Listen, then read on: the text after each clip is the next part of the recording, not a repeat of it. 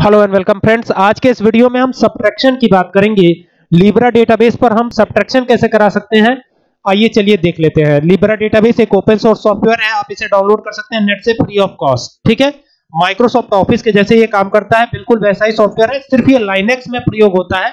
आप चाहे तो विंडोज़ में भी इसे चला सकते हैं नो प्रॉब्लम यहाँ से जाता हूँ। स्टार्ट बटन पर क्लिक करता हूँ।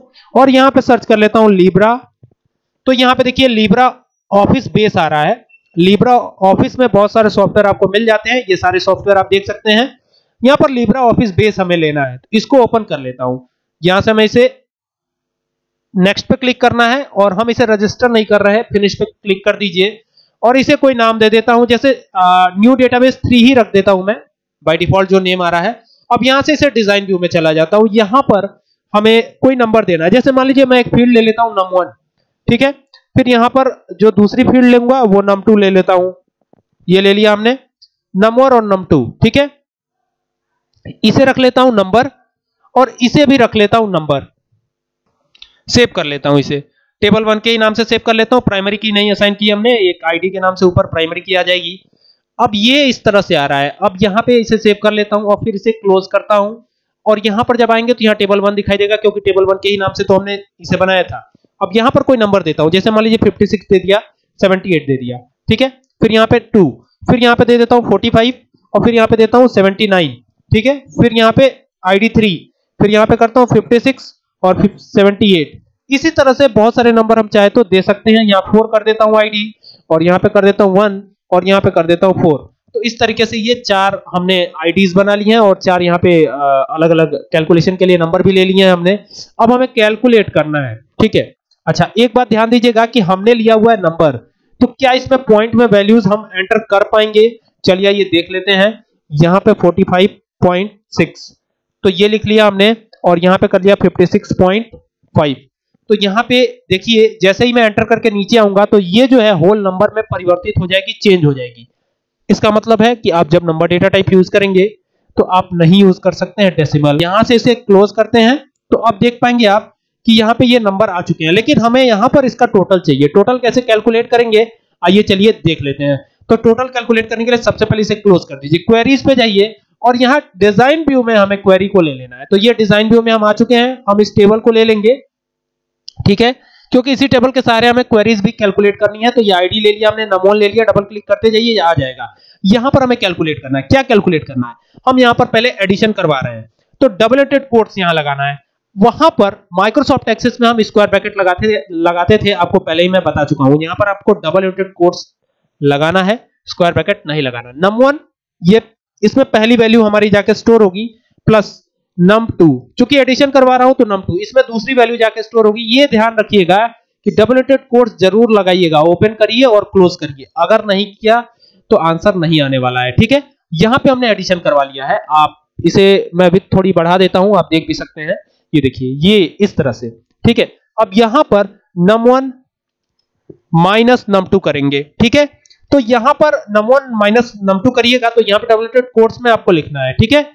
यहाँ पर डबलेटेड कोट्स में इसे लिख लिया आपने, और यहाँ से इसे ड्रैग करके और साइज़ को बढ़ा लीजिए, ओके?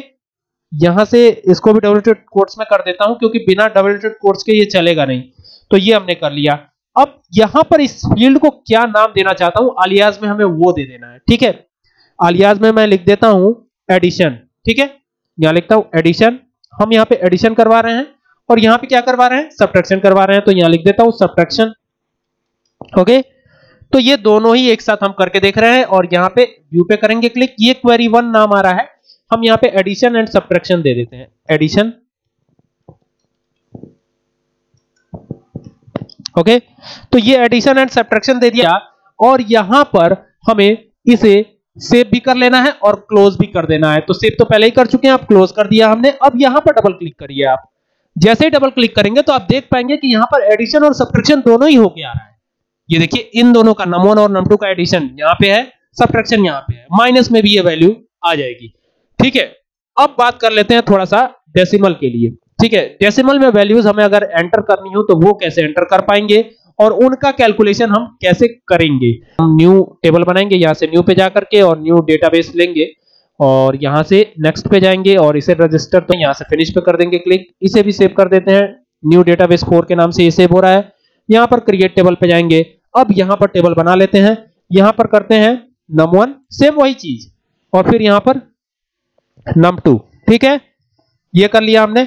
और इस बार हमें क्या करना है? इस बार हमें डेसिमल में भी वैल्यूज़ एंटर कर पाए ऐसी व्यवस्था हमें चाहिए। तो हमें क्या करना है यहाँ पे? यहाँ पे हमें फ्लोट रखना है। क्या रखना है? फ्लोट ये बात आपको ध्यान देनी है। ठीक है? यहाँ पे हमें क्या रखना है? फ्लोट रखना है। तो ये फ्लोट ले लिया हमने और इसे सेव कर देते हैं। तो ये सेव कर देंगे। आ, टेबल वन के ही नाम से सेव कर रहा हूँ इसे। आप कोई और भी नाम चाहे तो दे सकते हैं। यहाँ पर प्राइमरी की असाइन नहीं की है तो प्राइमरी की यहाँ पर असाइन हो जाएगी ऑटोमेटिकली तो यहाँ आ चुका है एंटीजर अब हमें इसे सेव कर लेना है और यहाँ से क्लोज कर देना है। अब जब यहाँ आएँगे तो टेबल वन दिखाई पड़ जाएगा आपको। यहाँ पर वन लिखता हूँ और यहाँ पर अब डेसिमल में वैल्यूज़ हमें एंटर करनी है। देखें डेसिमल में एंटर कर पा रहे हैं या नहीं। अभी तो हो गया, लेकिन आगे बढ़ते हैं। ओ अब तो डेसिमल में भी वैल्यूज़ एंटर कर पा रहे हैं। चलिए, फिर से यहाँ पे टू देता हूँ और यहाँ पर देता हूँ 45.8 ठीक है? फिर यहाँ पे देता हूँ 90.89 तो क्या ये सपोर्ट करेगा? बिल्कुल। यस सपोर्ट करेगा ये। ठीक है? अब इसे क्लोज कर देता हूँ, ठीक है? अब हमें बनानी है क्वेरी तो क्वेरी पे चलते हैं क्वेरी डिज़ाइन पे आ जाते हैं, ठीक है? और यहाँ से टेबल को ऐड करवा लेते हैं टेबल को ऐड करवा लेने के बाद यहाँ पर आईडी ले लेते हैं। अगर आईडी की ज़रूरत हो तो अगर नहीं ज़रूरत है तो छोड़ देंगे, मैं फ़िलहाल ले ही लेता हूँ नम वन कर दिया नम टू कर दिया। यहाँ पर कैलकुलेट करना है। कैलकुलेट करने के लिए सेम वही तरीका डबल कोट्स लगाइए। वन इन्वर्टेड कोट्स क्लोज और यहाँ पर कर देना है माइनस नम टू ठीक है? सब्ट्रैक्शन करवा रहा हूँ मैं। आप एडिशन भी करवा सकते हैं माइनस नम टू अच्छा डबलेटेड कोट्स लगाना मत भूलिएगा। इसको थोड़ा विथ बढ़ा देता हूँ। अच्छे से दिखेगा ये। ये देखिए, ये हो गया डबलेटेड कोट्स क्लोज ओपन हुआ क्लोज हो गया। अब इसे सेव कर लीजिए। तो ये सेव कर लीजिए। क्वेरी वन है। मैं इसे एस यू बी टी के नाम से सेव कर रहा हूँ। ये सेव हो गया। अब इसे क्लोज कर देता हूँ और क्वेरी को ओपन करते हैं। ये जो क्वेरी बनी हुई है। यहाँ पे देख सकते हैं कि num one minus num two करके यहाँ पे आ रहा है। ये देख लीजिए आप, ठीक है? क्योंकि हमने नीचे कोई अलियाज में नाम नहीं दिया था, जिसके वजह से ये इस तरह से आ रहा है, ठीक है? अगर आप इसे राइट क्लिक करके और एडिट करेंगे तो यहाँ पर अगर आप कोई नाम देते हैं, ठीक है? जैसे मान लीजिए मैंने नाम दे दिया सब्ट्रैक्शन यही नाम दे देता हूँ। तो यहाँ पर सब्ट्रैक्शन लिख के आएगा। तो यहाँ पे इसे सेव कर देता हूँ। और अब यहाँ पर डबल क्लिक करके इसे ओपन करता हूँ। तो यहाँ पे देख सकते हैं, यहाँ पे सब्ट्रैक्शन लिखा हुआ आ रहा है। अब कोई भी यहाँ पे नंबर आप एंटर करिए, ठीक है? यहाँ पे 2 भी एंटर करिएगा। जैसे मान लीजिए, ये 32 यहाँ पे कर दिया हमने, और यहाँ पर मान लीजिए 2 एंटर करा हमने 2 ठीक है? 2 ले लिया इसने 6 एंटर किया, ठीक है? और फिर यहाँ पर आ गए। तो यहाँ पर इसका जो सब्ट्रैक्शन है वो आ जाएगा। आप जो है डेसिमल में भी वैल्यूज़ एंटर कर पाएँगे, और विदाउट डेसिमल यानी कि होल नंबर भी एंटर करना हो तो वो भी एंटर कर पाएँगे। यहाँ पे देखिए 7 7 77 एंटर किया हमने और यहाँ पे 66.9 एंटर कर रहा हूँ। तो इन दोनों का भी सब्ट्रैक्शन होकर के आपके सामने आ चुका है। देख सकते हैं आप। तो उम्मीद करता हूँ कि ये वीडियो से आपको काफ़ी हेल्प मिलेगी लीब्रा डेटाबेस को समझने में। वीडियो पसंद आए तो इसे शेयर करें। Thank you for watching this video